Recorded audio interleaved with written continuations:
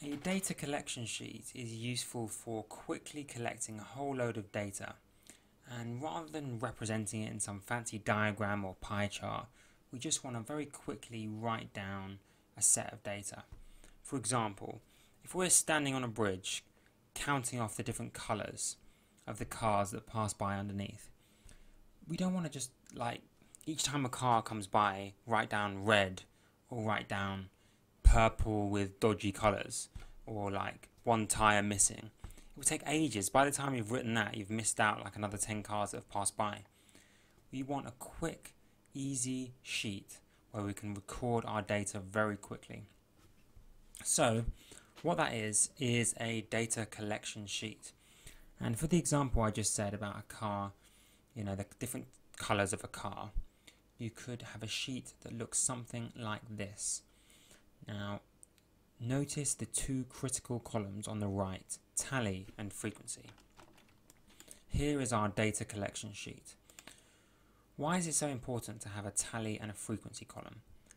A tally is something you can do really quickly when you're collecting data. A tally, as we're going to see, is simply each stroke represents one of that. So a white coloured car, if we saw one passing by, we literally just need to tick a tally. Now, what takes slightly longer and what you could do at the end of the day after you've done your survey is you can count up your tallies and then write them as a number, and that's what frequency is.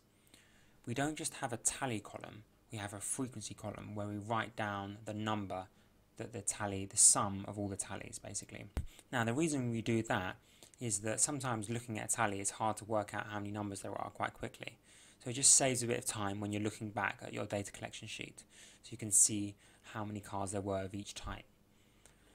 Sometimes you'll be given the data that you need to fill out your data collection sheet with. Other times you just simply need to design a data collection sheet. If you're going to design one, make sure it's pretty much like this with a tally column, a frequency column and a type column. The type is simply the different types in the survey. So if you're surveying films, you would do sci-fi, romance, etc. Always good to have an other row because you never know what might come up. If you're standing on the bridge, there might be a car that's fluorescent yellow or something, and you can just tick other, and then at the end maybe write about um, what that car was. So it's always good to have an other row. Sometimes though, we're given a whole set of data and we need to fill out our data collection sheet with that data. So let's pretend we have some different data. Let's pretend we have six white cars that pass by. Let's say we're only looking for about 10 minutes. To do that on the tally, we wouldn't just do six strokes, we would do one, two, three, four, and then a diagonal line representing 5.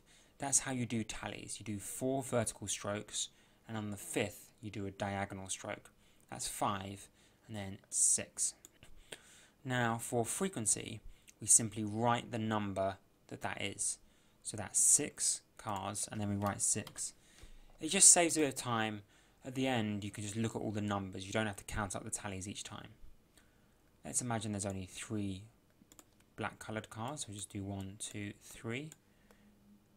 And we would write three as the frequencies. And let's go crazy and let's imagine that there are 12 grey cars. So we do 1, 2, 3, 4, 5, 6, 7, 8, 9, 10, 11, 12. And again, write the frequency.